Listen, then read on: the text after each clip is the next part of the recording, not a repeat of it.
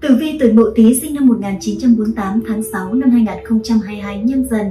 Đừng coi thường con giáp này trong tháng 6 âm lịch, chắc chắn họ sẽ đổi đời giàu sang, mua nhà mua xe, tiền tiêu vô kể, bất kể là những con giáp khác có ra sao. Nhưng với con giáp này chắc chắn họ sẽ giàu nứt tường, đổ vách, sống trong sự giàu sang phú quý. Mệnh chủ tuổi Mậu Tý tháng 6 âm lịch càng bị người đời trà đạp, khinh miệt, coi thường thì họ lại càng có rất nhiều những thành tựu lớn lao trong công việc. Hậu vận vô cùng giàu có kể từ sau rằm tháng 6 âm lịch, khiến cho nhiều người phải ghen hờn đỏ mắt. Thưa quý vị, vốn dĩ đời người phải trải qua nhiều giai đoạn mới thật sự trưởng thành. Trời sinh mỗi người, mỗi số mệnh. Chính vì vậy không phải ai sinh ra được sung sướng thì chắc chắn họ sẽ sung sướng cả đời và đương nhiên ngược lại, không phải ai sinh ra chịu khổ thì họ phải chịu lầm than cả kiếp.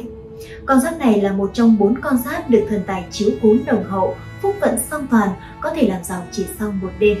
Có những người chỉ cần bước qua một giai đoạn khác thì vận mệnh sẽ thay đổi. Người xưa có nói, cuộc sống sung túc đủ đầy thường có 7 phần nỗ lực và 3 phần may mắn. Chính vì vậy trong 12 con giáp sẽ có những con giáp được trọn vẹn điều đó bất kể là cuộc sống của người khác có ra sao nhưng với con giáp này chỉ cần cố gắng nỗ lực hơn một chút nữa thôi thì chắc chắn không giàu, đất tường đổ vách thì cũng sống trong sự giàu sang phú quý, không thiếu thứ gì. Sau đây chúng tôi xin mời tất cả quý vị cùng với Phong thủy Gia Cát theo dõi vận trình của những người tuổi Mậu Tý trong tháng 6 âm lịch qua video ngay sau đây. Sau đây là phần tổng quan của các quý vị gia chủ tuổi Mậu Tý sinh năm 1948 trong tháng 6 âm lịch năm 2022. Thưa các bạn, gia chủ sinh năm 1948 Mậu Tý, thường được gọi là tuổi chuột, có ngũ hành bản mệnh phích lịch hỏa, tức là lửa sấm sét. Thiên định, người tuổi Mậu Tý bản tính hiền lành, chất phác, được mọi người yêu mến và quý trọng. Tuổi Mậu Tý thông minh, thành thạo nhiều thứ, trí thú. Họ biết quan tâm đến người khác, khi trẻ của cải chưa có nhưng về sau giàu sang, cha mẹ anh em cũng được phần nhờ cậy. Họ làm gì cũng tính toán cẩn trọng trước khi quyết định, bởi vậy nên luôn chọn cách tốt nhất và khi gặp tình huống nguy hiểm họ đều có lối thoát tối ưu.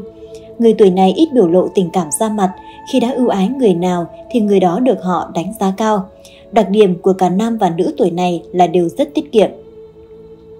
Người tuổi Tý thiên tính là quý tinh, vốn thông minh, lanh lợi, giao thiệp rộng, có tham vọng nên sẽ gặt hái được những thành tựu nhất định thời tròn trẻ. Tuy vậy, họ lại hay ỉ lại vào bản tính lanh lẹ của mình nên rất ngạo mạn, coi mình là nhất, đôi khi tỏ thái độ khinh khỉnh, coi thường người khác. Bên cạnh đó, tính cách cố chấp cũng gây ra những lận đận sóng gió trong cuộc đời của những người tuổi mậu Tý sinh năm 1948. Tử vi tháng này cho thấy gia chủ sẽ có nhiều may mắn, mọi mặt cuộc sống đều tiếp diễn một cách bình ổn.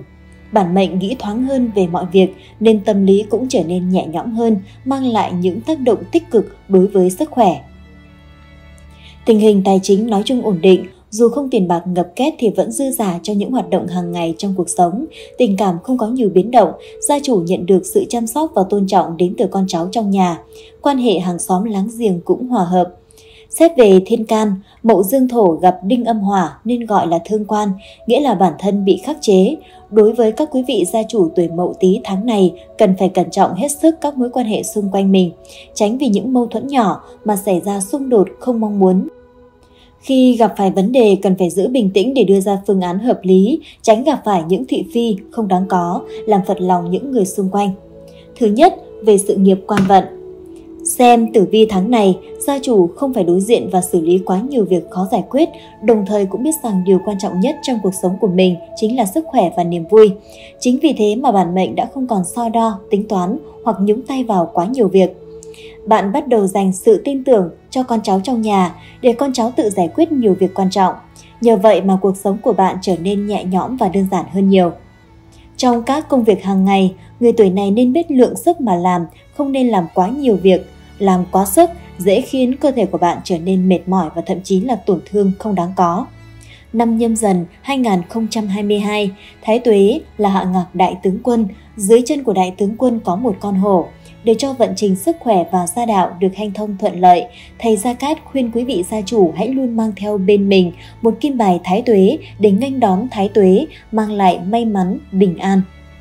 Đặc biệt, kim bài thái tuế của phong thủy lộc tài được thầy Gia Cát trực tiếp khai quang, trì chú và xem ngày sử dụng cho quý vị gia chủ tuổi mậu tý để mang lại tác dụng phong thủy tốt nhất hiện nay. Vậy nên quý vị gia chủ hoàn toàn yên tâm khi sử dụng kim bài thái tuế của thầy. Thứ hai, về mặt tài lộc và tiền bạc. Khoản tiền tích góp được từ trước đó có thể giúp bản mệnh sống thoải mái mà không phải lo đến việc túng thiếu. Thêm vào đó, bạn thường xuyên nhận được sự quan tâm, chăm sóc của con cái nên hoàn cảnh sống đa phần là dư giả. Ở độ tuổi này, người làm ăn kinh doanh cũng cần chú ý đến việc nghỉ ngơi, giữ gìn sức khỏe nhiều hơn, chớ vì những đồng tiền lời lãi mà làm quá độ, dễ khiến cơ thể mệt mỏi, phải tiêu tốn tiền trên phương diện sức khỏe. Để tiếp tục cải thiện vận may trong tài lộc, thầy Gia Cát khuyên quý vị gia chủ luôn mang theo bên mình vòng tam hợp quý nhân, thân, tí, thìn, giúp hóa giải xung sát, chiêu mời quý nhân, quý thần tương trợ, dùng để hóa giải thị phi, tiểu nhân hãm hại. Khi những điều xấu không còn, điều tốt đẹp sẽ đến với bạn, mà từ đó tài lộc kéo đến ầm ầm, may mắn không gì bằng. Đặc biệt, vòng tam hợp quý nhân cũng được thầy Gia Cát trực tiếp khai quang chỉ chú và xem ngày sử dụng cho các quý vị gia chủ để có thể mang lại công năng phong thủy tốt nhất. Thứ ba, về mặt sức khỏe. Đã đến độ tuổi này, gia chủ cần phải chú ý giữ gìn sức khỏe nhiều hơn, đặc biệt tránh làm việc quá sức, dễ gây ra những tổn thương khó chữa trị. Gia chủ cũng nên duy trì tập thể dục phù hợp với sức của mình để cải thiện sức khỏe. Trong tháng, gia chủ khó tránh những bệnh người già liên quan đến xương khớp, thị lực hay thần kinh. Tháng này, gia chủ tránh việc di chuyển, sửa sang nhà cửa. Người cao tuổi cần chú ý bảo vệ sức khỏe, không tạo cơ hội cho các chứng bệnh cũ tái phát. Nếu chú ý vận động, rèn luyện sức khỏe một cách hợp lý thì có tác dụng nâng cao sức khỏe, giúp tinh thần thư thái, vui vẻ, đồng thời có thời gian nghỉ ngơi đầy đủ, hợp lý. Nếu con cháu trong nhà bận rộn không có thời gian chăm sóc bầu bạn, mệnh chủ có thể tham gia các hoạt động phù hợp với sức khỏe của mình, tăng cường giao lưu với những người cùng độ tuổi sẽ giúp cải thiện tâm trạng. Các quý vị gia chủ mậu tí hãy luôn mang theo bên mình pháp khí phong thủy bát bảo tâm kinh. Đây chính là vật phẩm phong thủy có tác dụng kỵ tà hóa sát, đem lại may mắn, bình an và sức khỏe cho quý vị gia chủ. Để vật phẩm phát huy được tác dụng tốt nhất, thầy Gia Cát sẽ khai quang trì chú và xem ngày giờ sử dụng vật phẩm theo tuổi của các quý vị gia chủ tuổi mậu tý. Thứ tư, về mặt tình cảm gia đạo.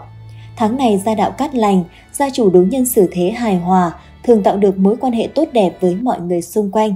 Nếu sống một mình, người tuổi này thường nhận được sự giúp đỡ của hàng xóm láng giềng, cuộc sống không có nhiều biến động. Mối quan hệ vợ chồng hòa hợp, đôi bên biết quan tâm và chăm sóc lẫn nhau, con cháu trong nhà đa phần đều ngoan ngoãn nghe lời. Tổng quan tháng 6 âm lịch năm 2022, tháng Đinh Mùi năm nhâm dần. Tháng 6 âm lịch được bắt đầu từ ngày âm lịch từ 1 tháng 6 năm 2022 và kết thúc vào ngày 30 tháng 6 năm 2022, tức ngày 29 tháng 6 năm 2022 đến 28 tháng 7 năm 2022 dương lịch. Tháng 6 đinh mùi có nạp âm là thiên hà thủy, tháng mùi lục hợp ngọ tam hợp mão và hợi thành mộc cục xung sửu hình sửu hại tý phá tuất và tuyệt sửu. Đối với những người tuổi mậu tý trong tháng 6 âm lịch này sẽ cần phải tránh các ngày. Ngày âm lịch, ngày 6 tháng 6 năm 2022, tức ngày 4 tháng 7 năm 2022 dương lịch có nạp giáp là mậu ngọ, có nạp âm là thiên thượng hỏa. Ngày âm lịch, ngày 30 tháng 6 năm 2022, tức ngày 28 tháng 7 năm 2022 dương lịch, có nạp giáp là nhâm ngọ, có nạp âm là dương liễu mộc. Đây chính là ba ngày không được cát lành khi tính theo tuổi của các mệnh chủ tuổi mậu tý.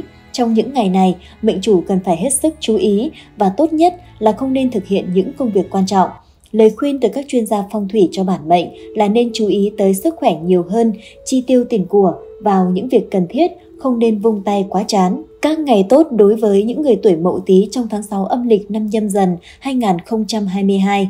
Ngày âm lịch ngày 1 tháng 6 năm 2022, tức ngày 29 tháng 6 năm 2022 dương lịch, có nạp giáp là quý sửu, có nạp âm là tang trá mộc.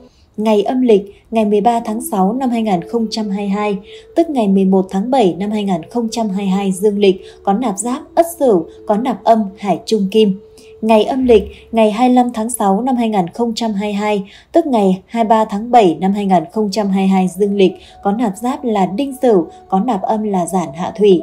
Đây chính là ba ngày cát lành trong tháng. để các quý vị gia chủ tiến hành các công việc liên quan đến xuất hành hay tiến hành những công việc quan trọng sẽ dễ có kết quả cao hoặc những vấn đề nhỏ trong gia đình bạn tiến hành đều hết sức thuận lợi. Ngoài ra, việc lựa chọn ngày tốt cần phù hợp với tuổi của gia chủ trong những công việc như tiến hành động thổ, ngày giờ mua xe mới, ngày giờ cưới hỏi.